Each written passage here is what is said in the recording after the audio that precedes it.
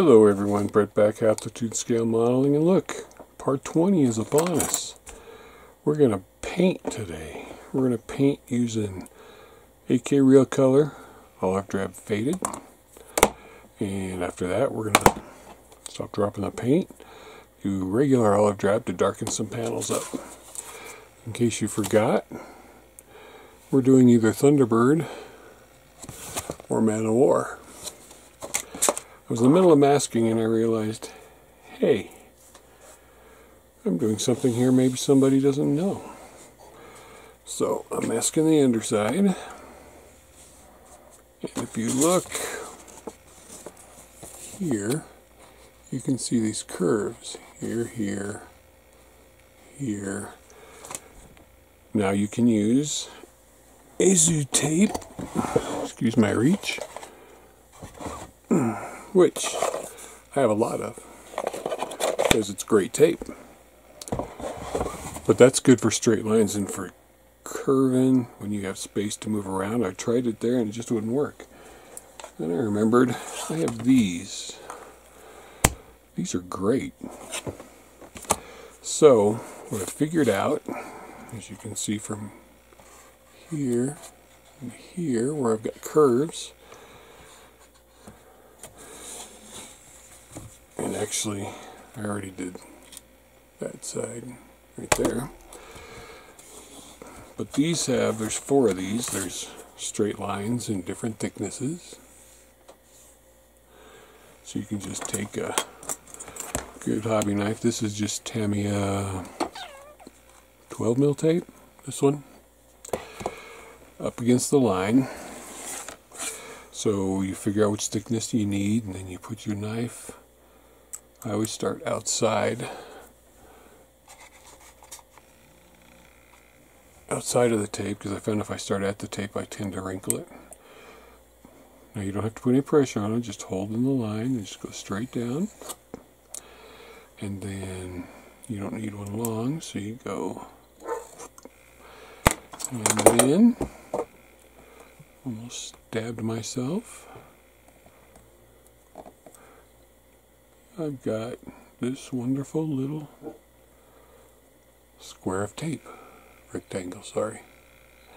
Not only that, but by putting it down there, you're also detacking it. Pick up this knife before I do something stupid and step on it.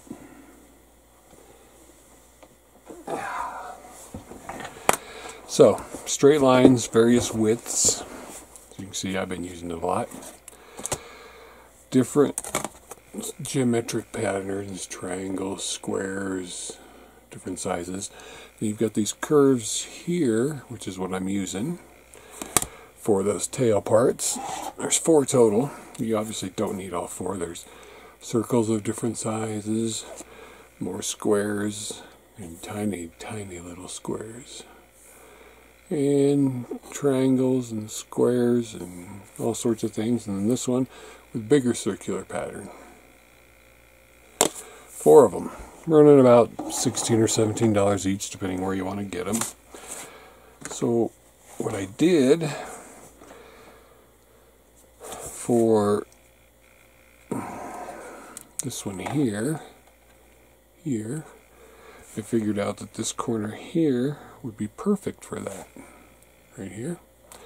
Then for this back one here, which has got a more exaggerated curve, as you will see here, sorry, here, I figured that this big one here was better. So what I did was I aligned the tape up with the line. And here, let me just take this one off because we're going to use, let's see, make sure I got the right corner. Yep. So we're going to use this inside one. No, we're going to use this outside one right here. And corners do take a little bit of practice because you really do got to let the knife ride the line. And just follow it around. Sorry, follow it around. I'll do another one in a second. Peel that off. And get the curve angle that you want that matches the picture, which is about there. Push it down, and you've got your curve going up to the elevator. Just like that. So let me show you that again. So I wanted to do this one in here. Sorry, my tape dispenser's in the way. Do this one in here. Again, put the knife outside the tape. And then just let the knife ride in. Get it the length you want it, and then you just cut it across.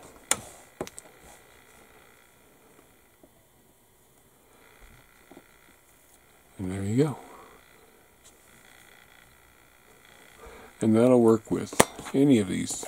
It does take practice with the curved ones because your knife wants to come out. Now see, I like to have an open space to start in. So if I wanted to do this one, I would.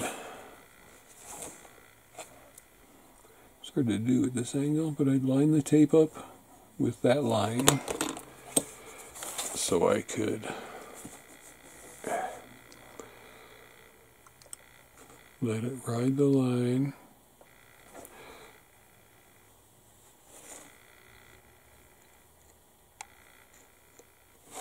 Just like that.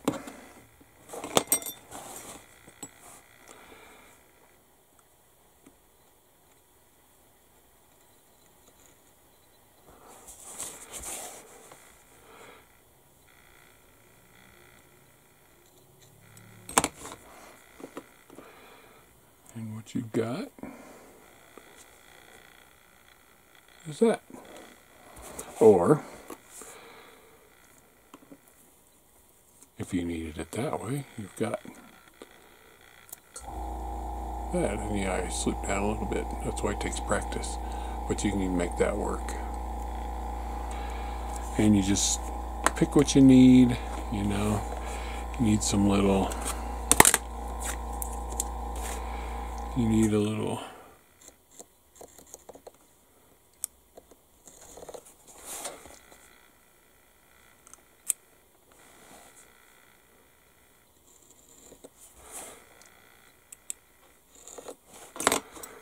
triangle.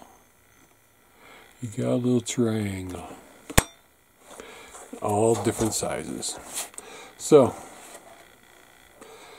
there you go. Now all I gotta do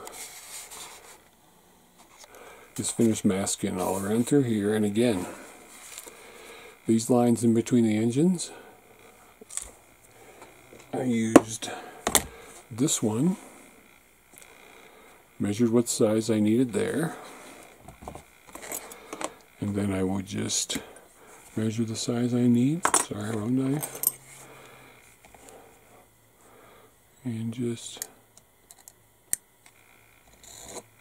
cut down like that.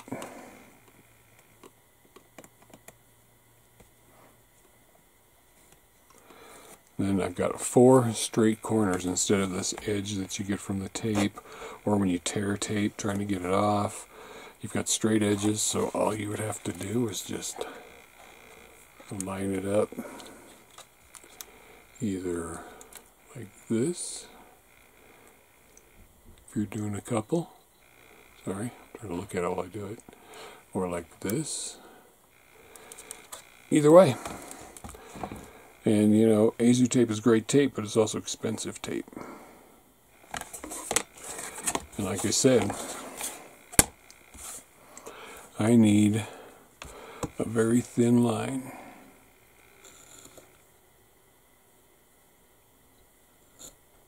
Oops.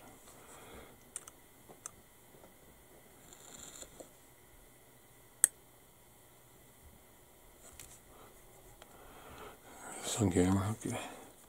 So you need a very thin line. See right there, you're on this one, you go over one. Make sure your knife is sharp too. And you just created, using only Tamiya tape,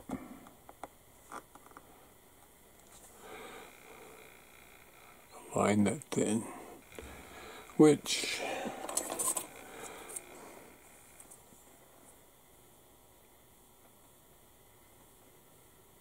it's about half a mil,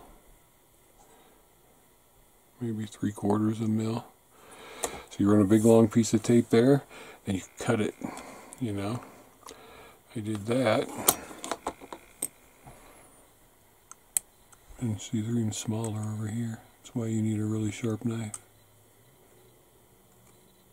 If you don't have a sharp knife, it's not going to work right. Sharp blade, thin line, right in there. Which one did you do? That one? Go to the next one.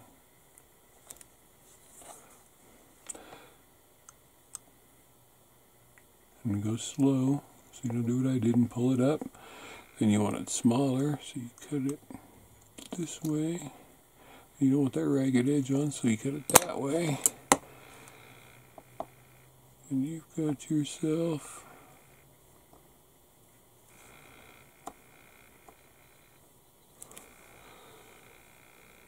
definitely less than half a mil. And it's Tamiya tape, so it's going to stick right down.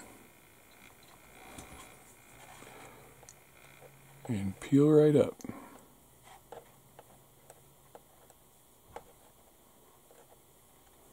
So, I do recommend getting these if you do a lot of masking or use a lot of Infinity tape and you just want to use your Tamiya tape.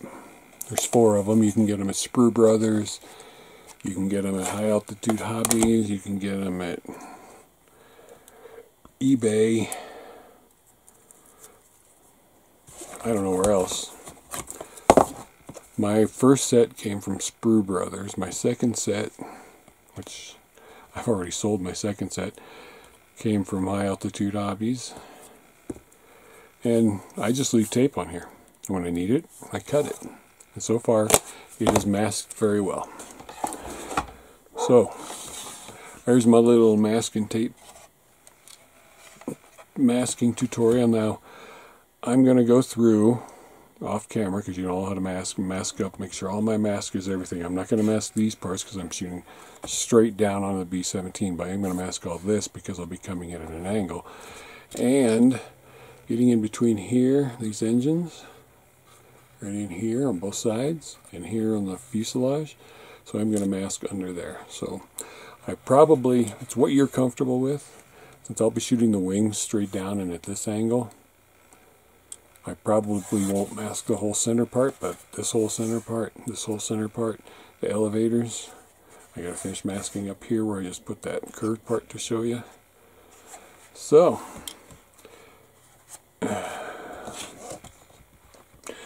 now for all the edges, I'm using Tamiya tape or this is Zukimura's new tape, which is a little thinner than Tamiya tape. And don't have labels on it. This is AK Interactive's new tape, which is seems to be even thinner than the Zukimura thin tape. But they're all basically the same tape.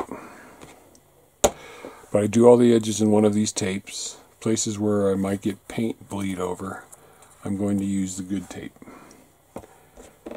Which right now is the Zukimura tape because I'm testing it out. I just got it in for big fill jobs, I will use, let me reach under here and get it, yellow frog tape because it costs less and covers more. So the edges will always be good quality Tamiya type tape, which right now there's lots of copycats out there. Like I said, this seems a little thinner than Tamiya. And, you know, you got to make sure that, like this one's not level, so I'm going to have to level it out. That one is level. That one, uh, I'm going to have to look and see, but this one definitely needs fixed. So, I'm going to do that, get all this stuff masked up, and then we'll do a little spray painting.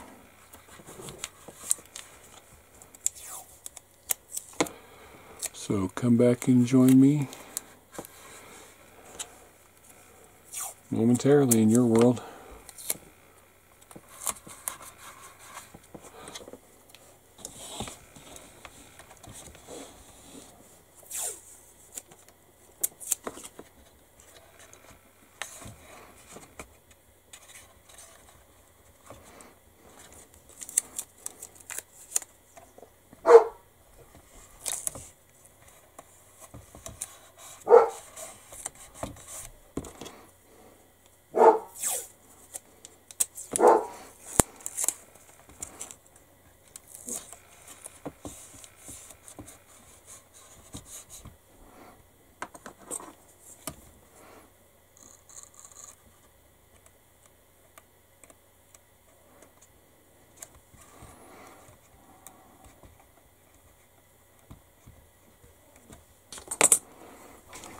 Alright, we're back. Got my little portable spray booth set up here. Got my mask, got my towels.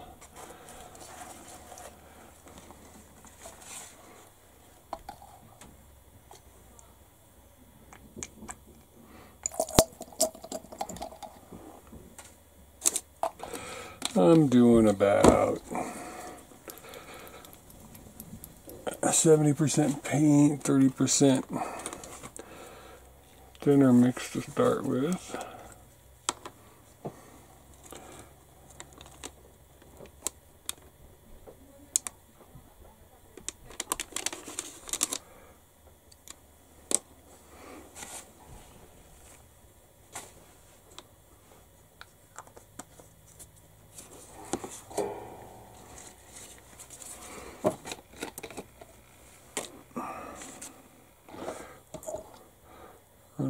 The airbrush.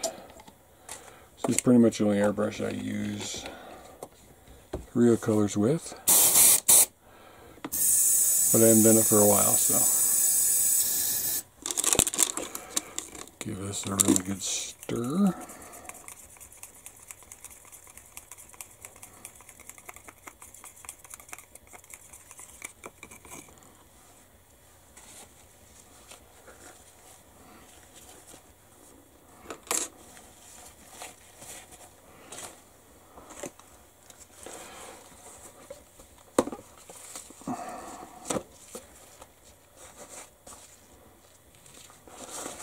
Can you hear me now?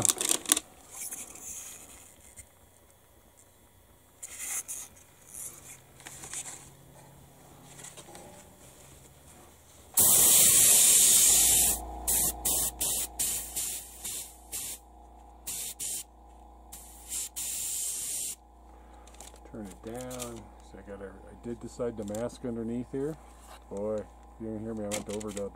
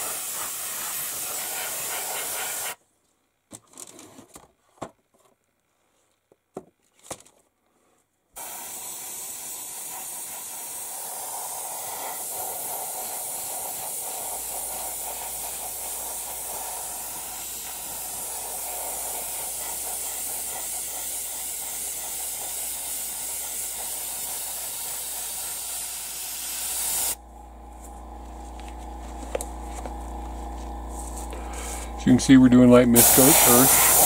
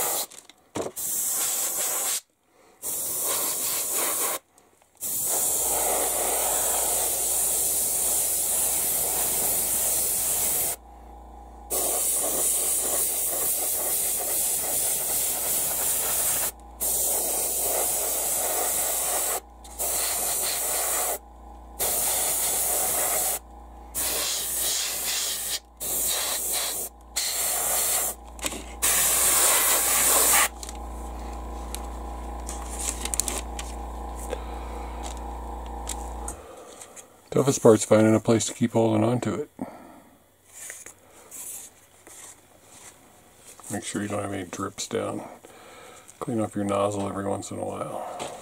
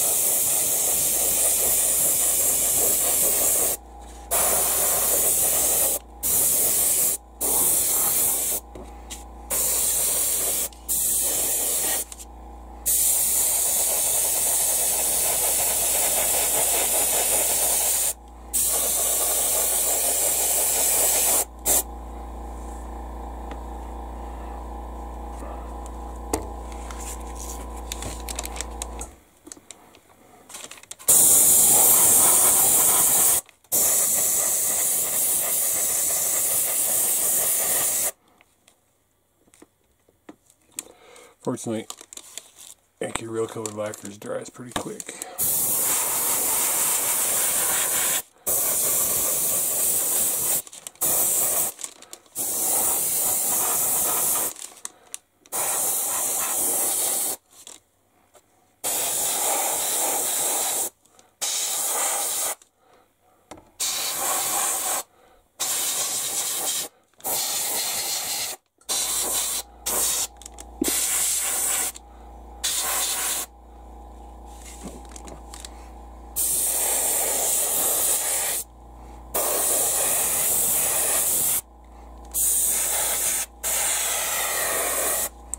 Make sure you get all your leading and trailing edges really good.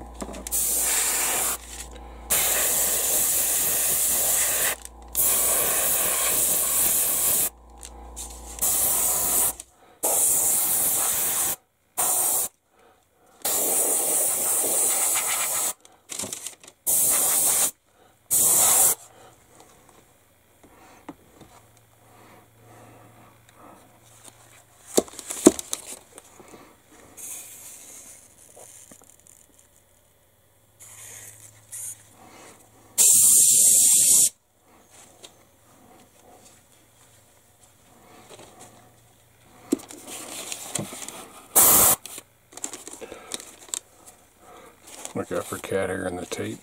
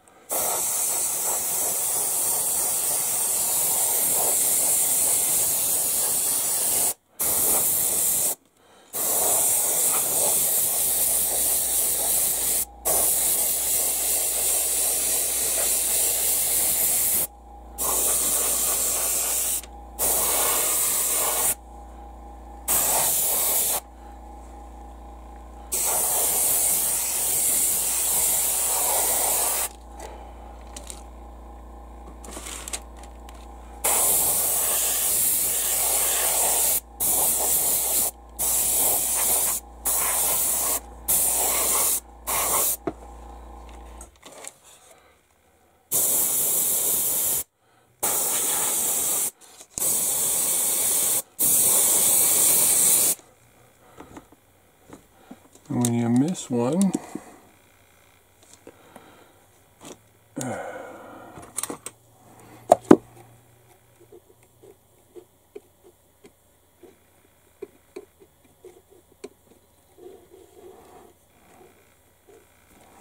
try and get it out as soon as you can.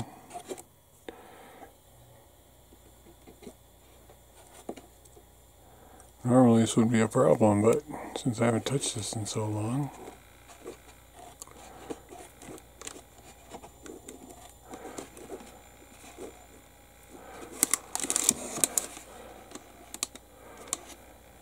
Me struggle taking cat hair out of my model.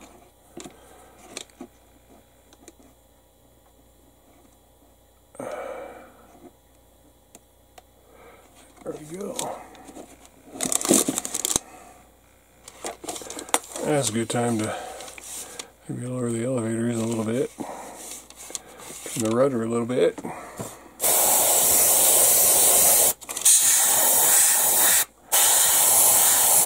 Get down in those seams.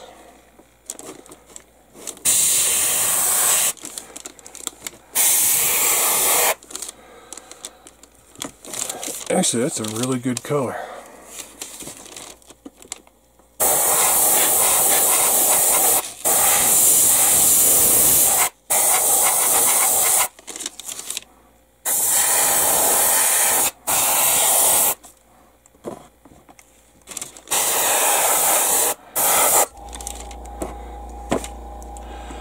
Just going through to make sure I didn't blatantly miss any areas like there.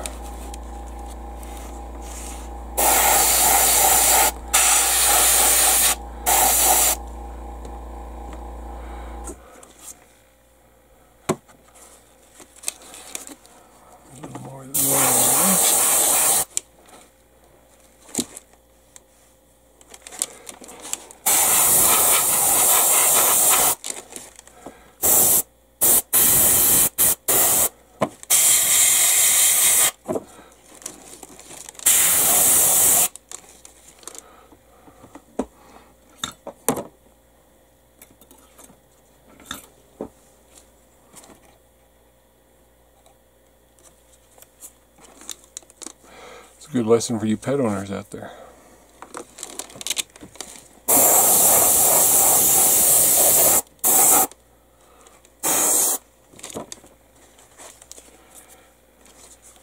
For you guys who leave models sitting for a long time like this one has, clean the fuzz out.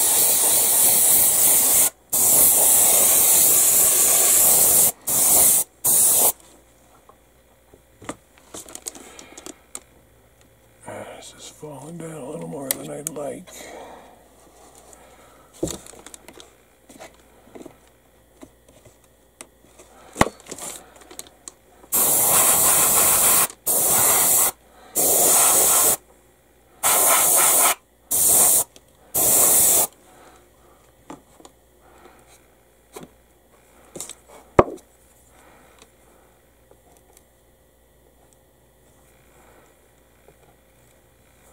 You let your model sit too long between work. This is going to happen.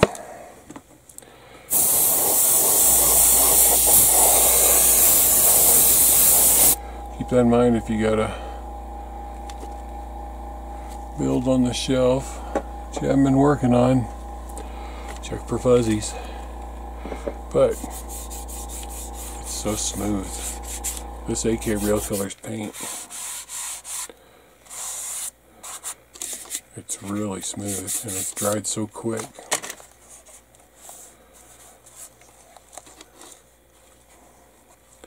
So, check around.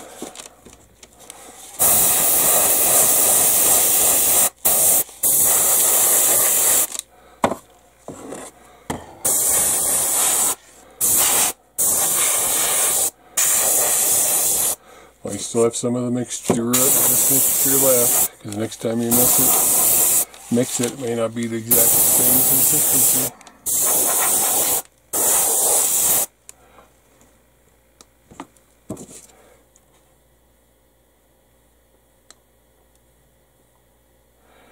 Know how much paint you're going to use. Because it's always better to mix a little more than not enough. And there, I think,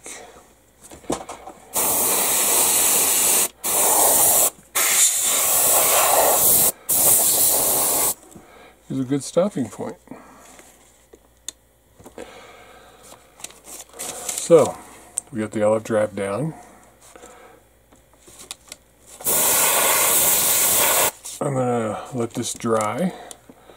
Then in the next video I'm going to go over it with some of the non-faded. Here's the regular olive drab, it's a little darker.